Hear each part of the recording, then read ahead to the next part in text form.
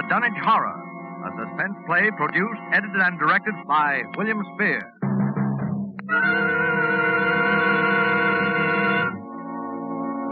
Come in, Dunwich, Massachusetts. Come in, Dunwich. Good evening. This is Henry Armitage. I'm speaking to you. Uh, Dr. Rice, please close the window. I'm speaking to you from my laboratory on the slopes of Sentinel Hill near Dunwich, Massachusetts. Present with me is Dr. Warren Rice, my distinguished colleague from Miskatonic University. Uh, we are now about a hundred yards from the summit of the hill, which is crowned by a huge table-like stone set in the center of a circle of stone pillars, a place of prehistoric worship. A moment ago, uh, you may have heard the dogs of Dunwich Township barking, as we have heard them for three days and three nights. Dr. Rice and I know the horror which their barking portends, but the purpose of this broadcast is to make this unbelievable horror believable to you. I hope for your sakes and ours we are successful tonight. It is the eve of All Hallows. Tomorrow will be too late.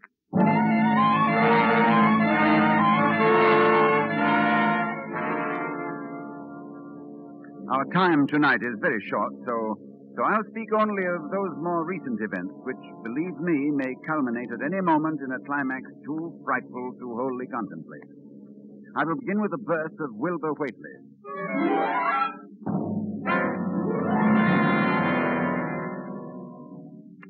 It was the night of February the 2nd, 1921. Candlemas.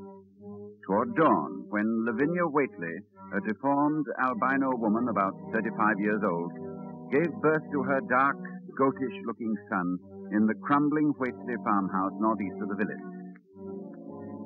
No one attended her. No doctor or midwife. No one was with her, except her aged, half insane father, who was known as Wizard Whately.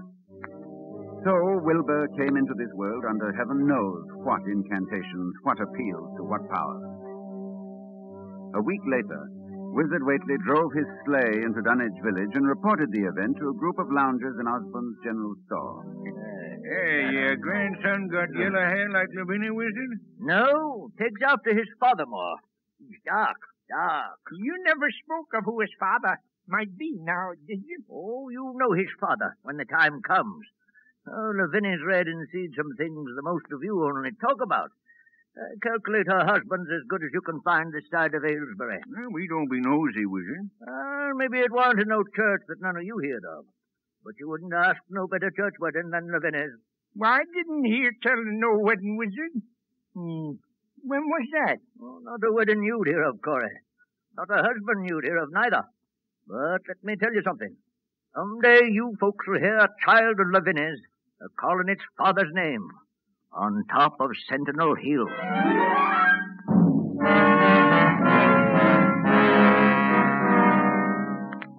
Prophecy? Or idle boasting by an insane old man? I know I ask a great deal when I ask you to believe that the arrival of an infant into that house of dire poverty and squalor could possibly constitute a horror and a threat to all our known world. Yet it has an earthly history. Perhaps through this history you will be able to give it credence. Wilbur Whately's growth was uncanny.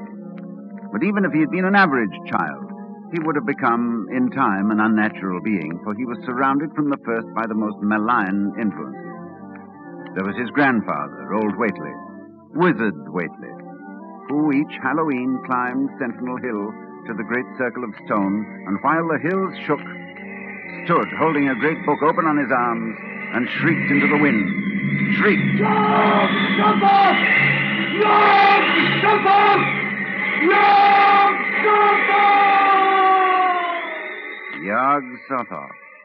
That dreadful name, first mentioned in the hideous forbidden book, the Necronomicon.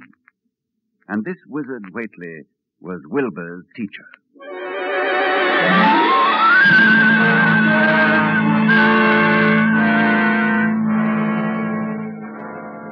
The villagers began to notice curious things that were going on at the Whately farmhouse.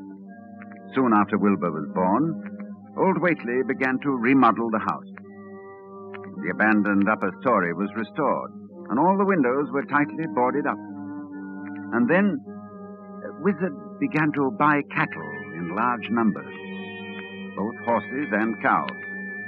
Yet the livestock on the farm didn't seem to increase. Young Lem Brown was one day curious enough to creep close to the house to count the Whately herd. Dr. Armitage, there warn't more'n twelve cows, and them sick. Looked like they had the blight and funny wounds on 'em, like cuts. I heard something, too, in the top part of Wizard's house. Something like water slapping inside, only big, big like the sea.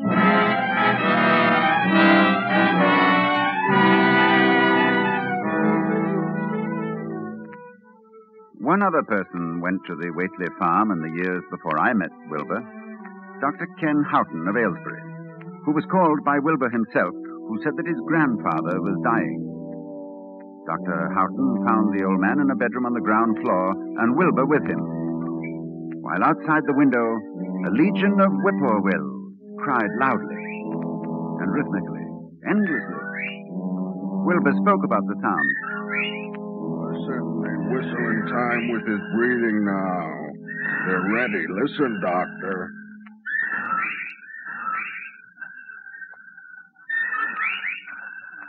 They know his soul's going out. They're waiting.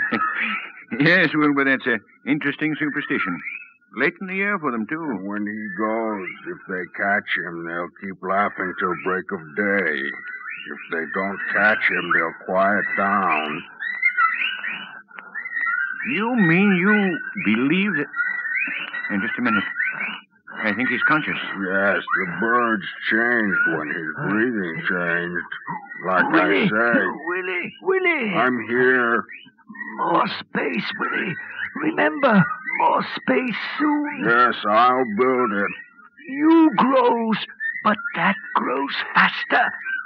It'll be ready to serve you soon, Willie. I know. But remember, when it's time, you open up the gates to Yog Sothoth with the long chant, the one on page 7 and 51 of the book. But mind you, feed it enough, because if it gets out before you opens to Yog Sothoth, it's all over.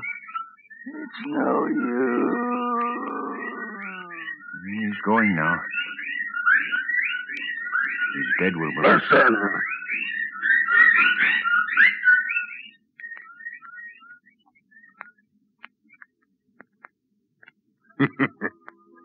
the birds, they didn't get him. Yes, he's free. He's gone.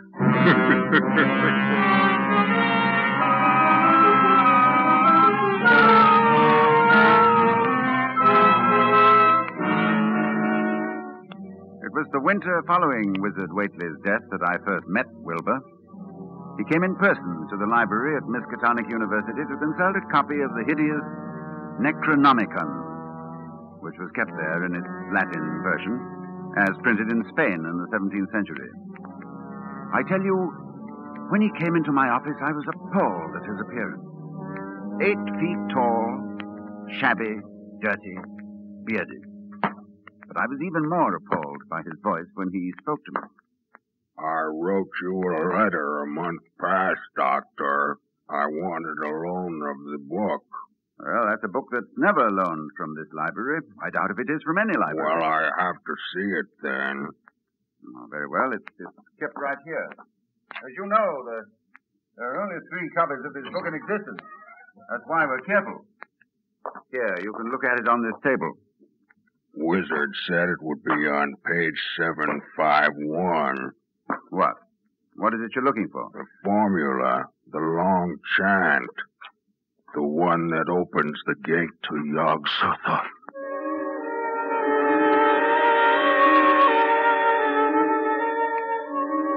I felt a wave of fright as tangible as a draught from the tomb. He seemed somehow like, like the spawn of another dimension, like something only partly of mankind. linked to black gulfs beyond all spheres of force and matter, space and time. And presently he raised his head and spoke again. It's here, all right. But I'll have to have a copy. That paragraph there? Uh, I don't know. Do know. you know Latin, Doctor? Yes, certainly. Then read it, Doctor. Let's hear how you make it out. All right, that shouldn't be difficult. Uh, let's see.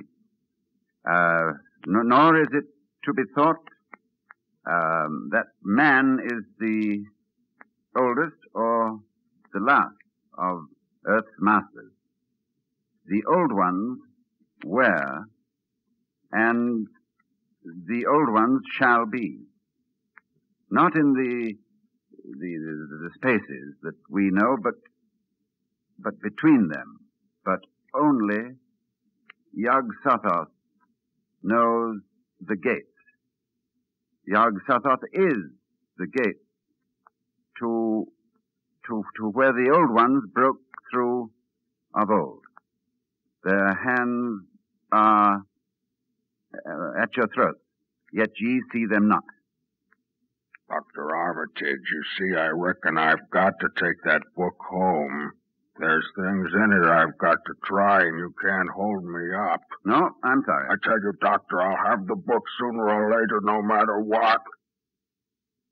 You see, it that's waiting for me at home won't wait much longer.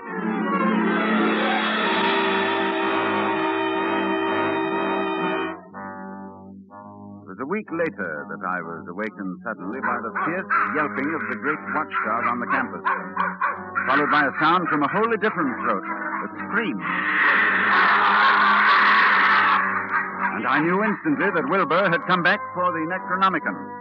I hastened into my clothes and rushed across to the library where a crowd had gathered before the smashed window of my office. Inside there was a fearful groaning and growling, and some instinct warned me that what was taking place there was not for, for unfortified eyes to see. I brushed back the crowd, motioning only to Professor Rice to come in with me. When we opened the study door, Professor Rice screamed. No, Dr. Armitage, no, I Come, can't. come, close the door. We can't let them see. He's alive, but Lord, what, what a job that dog's done. Torn him to bits. Oh, it's a horrible sound, that moaning. Suppose we ought to call a doctor? A doctor? A doctor for that? No doctor in the world would know what to do for that. Look, Armitage, it's not human, nor animal. Where did it come from? Can you tell me? Can you tell me what it is?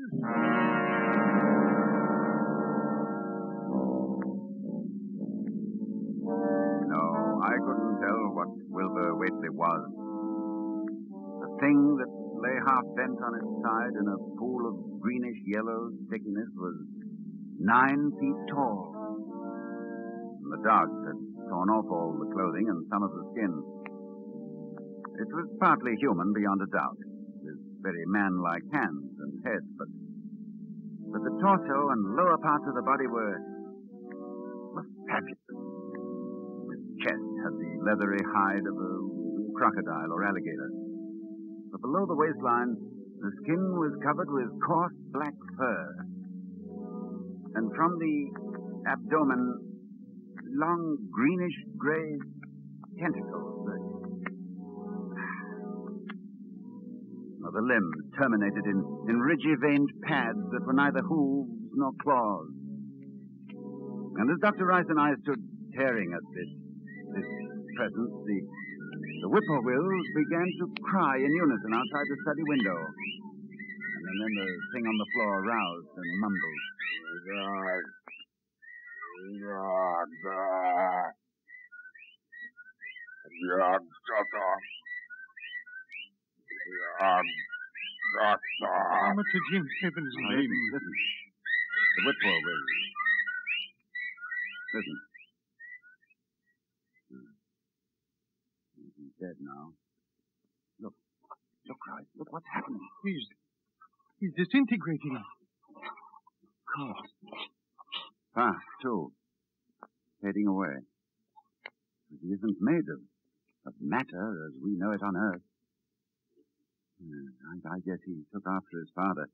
So there'll be nothing left. His father? What was his father? I daren't think.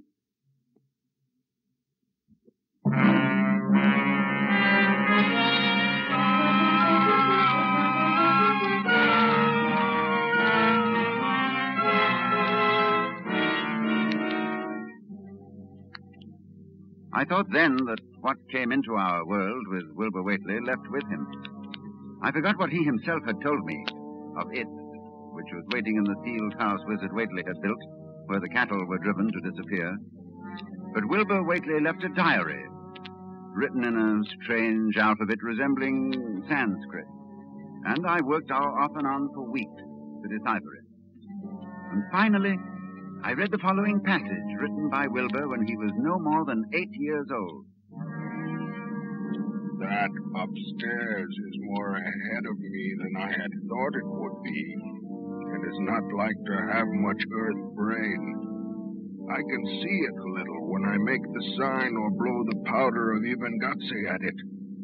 And it is like them I see Halloween on the hill. I wonder how I shall look when the earth is cleared and there are no earth beings.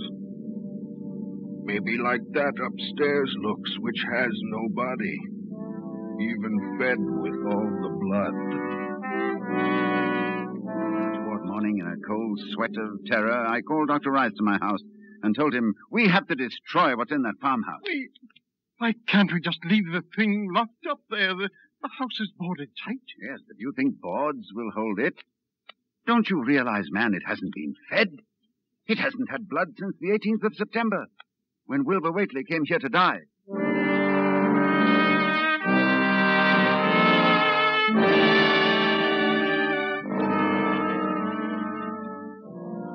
We left for Dunwich that night, and we've been here on Sentinel Hill ever since, working desperately to discover the formula in time. But a week ago tonight, shortly after dawn. Yeah, hello? Dr. Armitage, this is Lem Brown. I, I was just up beyond the glen, Doctor, looking for cows I lost last night. Yes, Lem? Well, Doctor, something's been there. Smells like thunder, and there's prints in the road. Great round prints, big as barrel heads, like a, a elephant has been along. Any. anything else, Lem? That's all I see. Uh, except bushes and trees pushed back from the road, like like a house was drug along. Oh.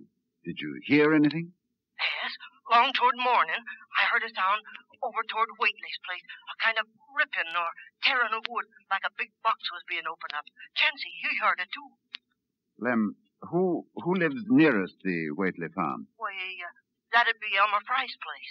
Oh, he's on this line too, isn't he? Hang on and I'll ring him.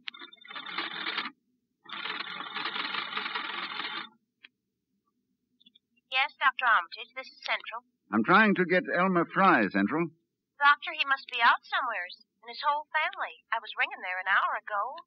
Earl Sawyer saw Elmer's cows stampeding in Cold Spring Glen. Oh, you didn't get him.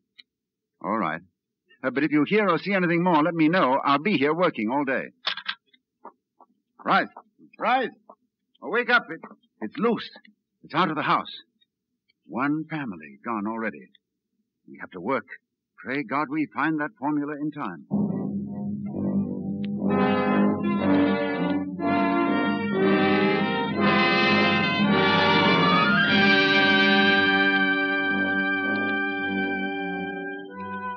A week since it broke loose. A week of terror and panic here in Dunwich Township. Each night it moves about the countryside, leaving the trees crushed in a 30 foot swathe, as though by a moving mountain, leaving its monstrous tracks and a trail of tarry stickiness, leaving crushed and gutted farmhouses and whole herds of cattle drained of blood. Well, ladies and gentlemen, that is the story to this moment. And tonight is Halloween. Tonight we are here to. Oh, just one moment, please. Uh, Dr. Rice, did you hear something? Uh, with the window closed, no. Well, we'll throw it open. So. Listen. The sound from a thousand bending trees. A sound like the sea moving across a forest. Yes. Yes, it's coming here, of course. All Hallows, it comes to Sentinel Hill.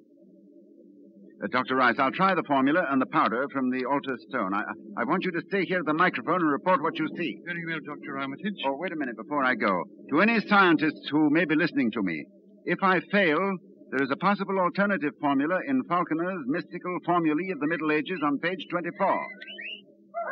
This, well, there are the whippoorwills. I better get out there. Take over, Dr. Wright. Yes.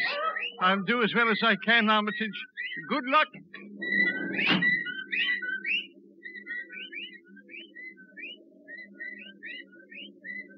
Ladies and gentlemen, Dr. Armitage is climbing to the top of the hill, to the altar stone. I can see him plainly, for the moon is high and the night clear. Down the hill, toward the dark village, I can see the grasses and shrubbery bending down, marking the monster's ascent. It moves quite fast, and I feel a proximity to phases of being utterly forbidden. Now, Dr. Armitage stands now on the altar stone and is holding the powder which, if the books are correct, will make this thing for an instant visible. It is quite close to him now, perhaps 20 yards or less. He lifts his hands. He flings the powder in a wide arc. I can see. Oh, no! No!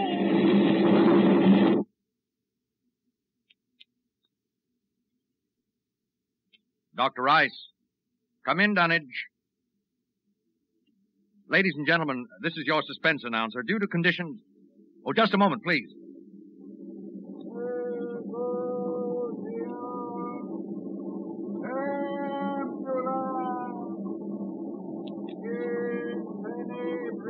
One moment, please. Dr. Rice, can you hear me? Yes, I can hear you. Yes, for a moment I was overcome when I saw. Ladies and gentlemen, perhaps you can hear now the incantation of Dr. Armitage. Listen.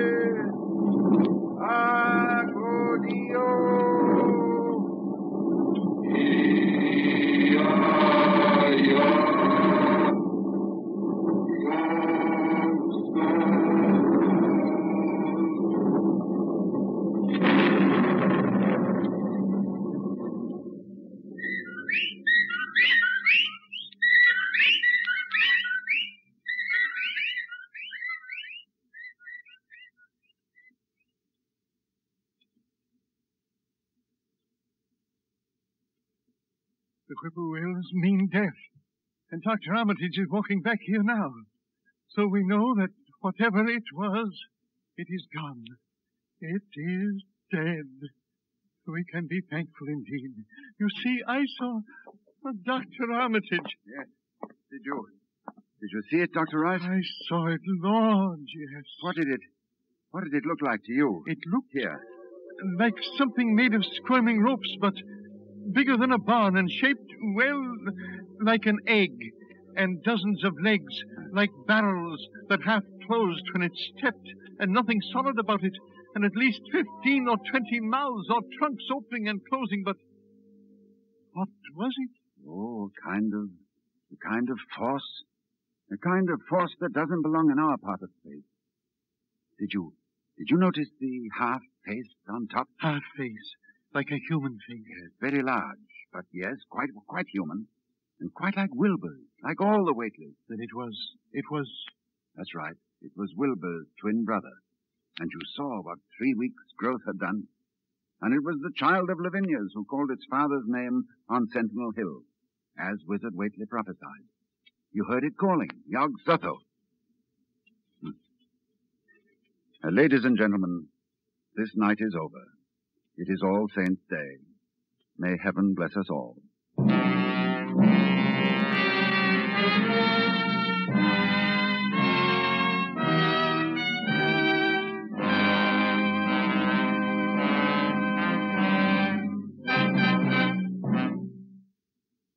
The Dunwich Horror, with Ronald Colman as your star of suspense.